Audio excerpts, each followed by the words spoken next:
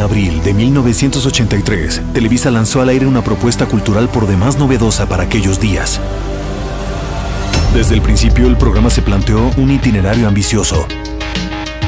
Llevar a cabo un constante viaje por los diferentes aspectos del saber a través de una estructura capsular. Los cartones pertenecen a lo que los japoneses llaman mundo flotante. Videocosmos Digital retoma ese itinerario con nuevos formatos y nuevas maneras de acercarse y presentar el universo de la información. Hoy, el cosmos se construye en la red. En ella, el flujo de información es constante, reticular y entrelazado. Hipervínculo elabora su estructura narrativa como lo hace la navegación, donde todas las disciplinas tienen algo que decir sobre el mismo tema.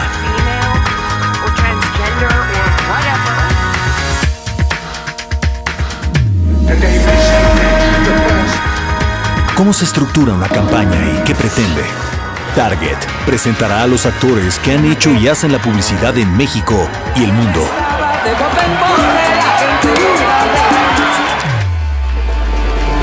A partir de una pieza, un grupo, un concierto o una corriente, Aullido irá dando cabida a diferentes voces involucradas para estructurar un panorama amplio que refleje el carácter cultural y social de la música. Un ejercicio de la memoria que llega hasta el presente. Un road movie que contará la historia del cine nacional, descubriendo influencias, constancias y puntos de quiebre y donde buscaremos a la gente innovadora, a los personajes y a las películas que han dado y dan vida al cine. Ludens es historia y antropología del deporte.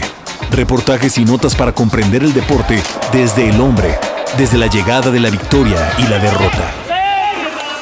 BIOS llevará a cabo un recorrido por las diferentes áreas naturales protegidas, captando la indudable belleza de su fauna y flora, pero al mismo tiempo mostrará los proyectos productivos que se han tenido que implementar para que las comunidades que las habitan alcancen un desarrollo sustentable.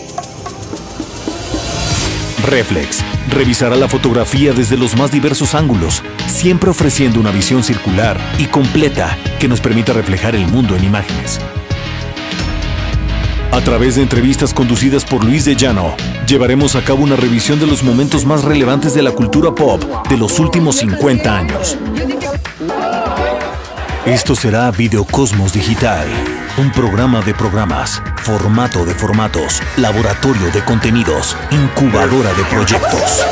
Nuevas formas de acercarse a la información y a la realidad.